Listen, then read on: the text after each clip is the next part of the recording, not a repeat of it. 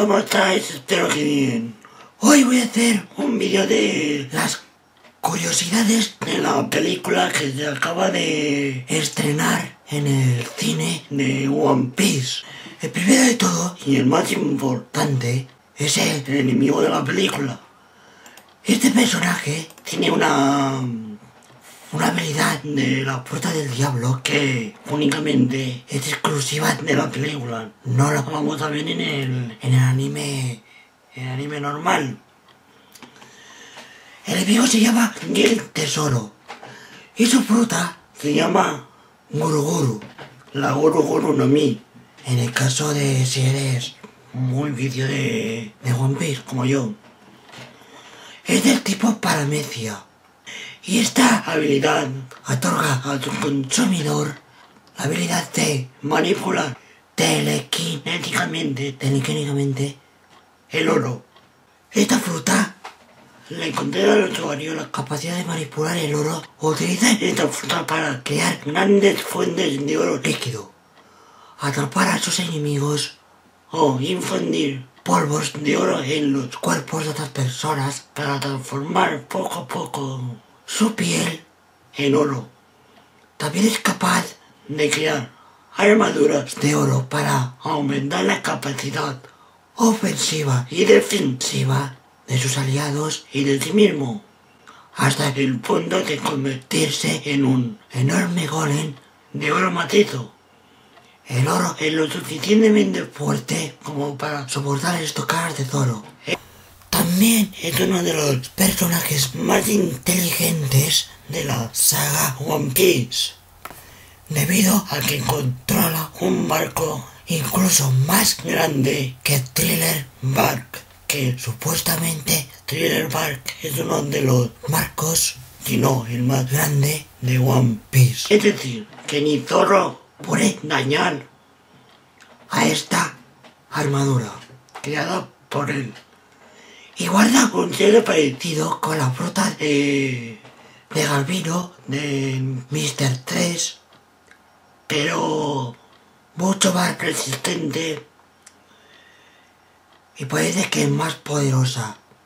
Ya que en la película podemos ver que al principio que una lluvia una lluvia de oro y con su poder transforma la a las personas en oro macizo así que básicamente era eso lo la habilidad no es una de las más fuertes que he visto la verdad la más fuertes que he visto ha sido la de Barba Negra pero no no tiene tanto poder como resultado parecer.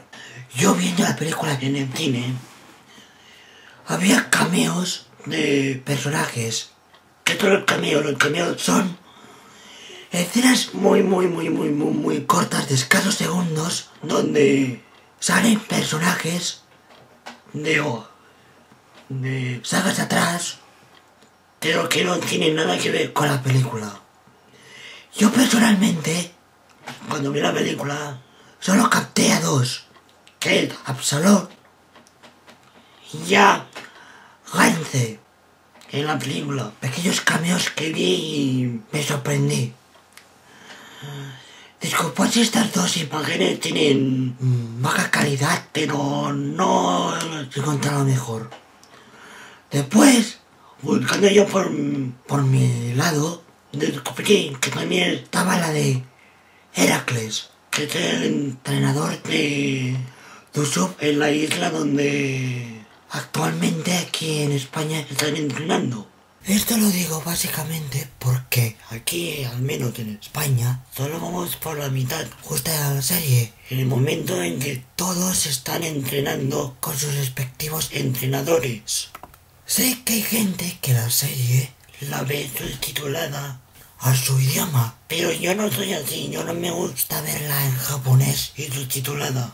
Prefiero esperarme a verla directamente en catalán que spoilearme y después cuando llega en mi idioma que es cuando realmente la disfruto puedo llegar incluso a disfrutarla más es por eso mismo que en el vídeo anterior en el Rusi La información que os doy es tan tan atrasada. Ya me he leído un comentario de una suscriptora y era verdad.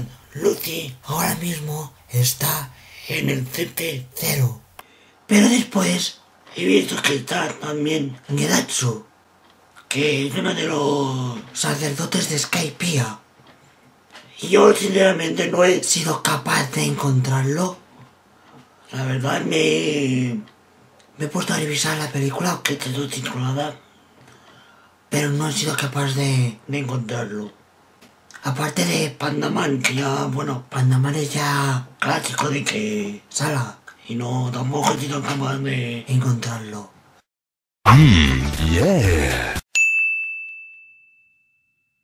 Seguro que si me vuelvo a ver la película... Dos o tres veces los encuentro, pero Ahora por ahora no lo los he encontrado.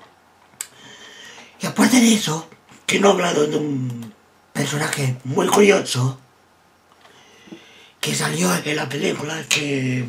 se supone que es el actual Campeón de del casino. O sea, el que nunca había ganado perdido ninguna ninguna... partida. Pero no quiero hablar de eso. Yo quiero Hablar de que este personaje. Mírale la cara. ¿a qué lo recuerda? Yo, sinceramente, Se parece muchísimo a Dross. Mi libro. miraos la cara. Es que es idéntico. A Dross con las gafas. Me hizo mucha gracia cuando lo vi. Vamos, es que... Es que vamos, Me, me hace muchísimo. Además, con el tipo de vestido, estoy así con el gorro. el pelo así, el pelo largo. Es que es clavado. Yo creo que se inspiraron en el... Estaría bien. Bueno, Este personaje lo quería enseñar básicamente. para... para la coña. Eh, O sea, ¿quieres que ahora Dross me... me comenta el vídeo. Qué guay. Bueno, No me enrollo más, chicos. estas han sido las Curiosidades que me han parecido más curiosas de la película. Últimamente YouTube está dando muchos problemas a la hora de recibir los nuevos vídeos a los canales a los que te suscrito. Así que por favor, darle a la campanita, activar las notificaciones para no perder ningún video de mi canal. Gracias. y vamos con el vídeo espero de verdad que ¿Os ha gustado? Dar like al vídeo Compartid sí, sí. Twitter y nos vemos en la próxima. Chao.